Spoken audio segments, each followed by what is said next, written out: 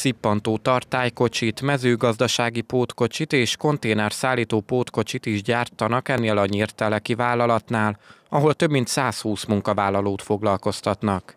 A cég most ezzel az új 1000 négyzetméteres üzemmel bővült, ami lehetőséget biztosít számukra arra, hogy még több terméket állítsanak elő a mezőgazdaság és a közúti teherforgalom belföldi, illetve külföldi piaca számára. Gyártmányaink, saját fejlesztésű termékeink, tartálykocsik, pótkocsik, járműfelépítmények mind mezőgazdasági, mind a közúti szállítmányozás számára.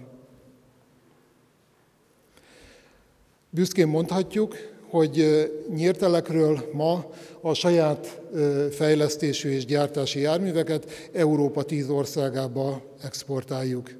Magyarországon 1 millió munkahely jött létre az elmúlt 12 évben, a foglalkoztatási adatok pedig itt kelet Magyarországon is ugrásszerűen javultak a beruházások által, mondta el Vinnai Győző, a térség országgyűlési képviselője. Szabolcs-Szatmár-Bereg megyében, Nyíregyháza közelében 4 százalék alatt van a munkanélküliség, tehát Nyíregyháza és vonzás körzete, ez 2010-ben 12 százalék volt. Sőt, azt tudom mondani, hogy a megyében is erről pontos adatok vannak, 8-9 százalék a munkanélküliség, de volt itt 2010 előtt 22-23-25 százalékos munkanélküliség is. Tehát aki akar és tud dolgozni, az dolgozhat. És hogyha munka van, minden van, mert akkor a munkavállaló tisztes bért visz haza, a családok megélhetése biztosítva van.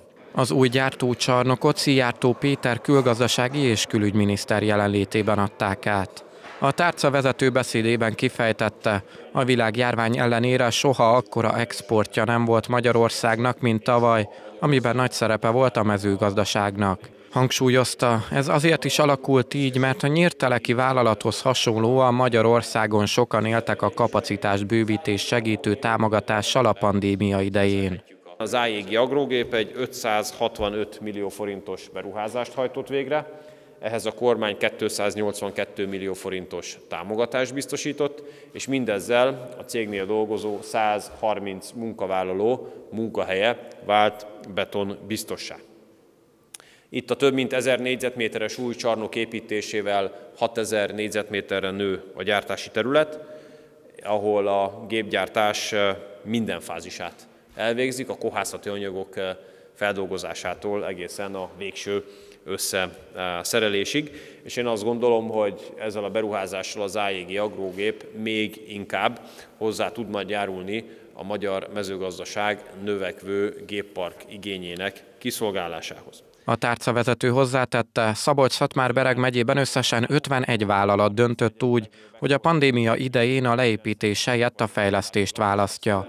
Így 30 milliárd forint értékben indultak el beruházások az utóbbi másfél évben, amivel a megyében összesen 12 ezer munkahelyet sikerült megtartani.